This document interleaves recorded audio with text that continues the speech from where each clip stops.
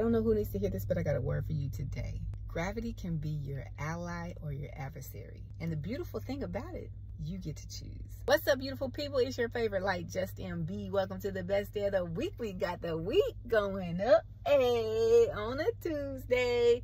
And it's the best day of the week because you, my friend, are still alive. And why are you talking about gravity? I'm glad you asked. See, there's this thing called the past and the future. And guess what? The effects of the past as well as the future have this gravitational pull on you. And a lot of times we get caught up being pulled back into the past. Maybe your past was excellent, maybe your past was horrific. Either way, when we spend a lot of our time, energy, and tension focused on our past, we miss out on the steps that we need to take today to have the most marvelous future. You can allow the gravity of the future to pull you forward. You can be excited, you can be determined, you can be disciplined so that you know that your future is going to be bright and full of all the greatness that you're supposed to see. Or you can remain stuck in the past and then wonder why your future still looks like the place you're trying to get away from. My encouragement for you today is make a choice. If you're going to choose to allow yourself to be pulled back into the past, don't complain about the present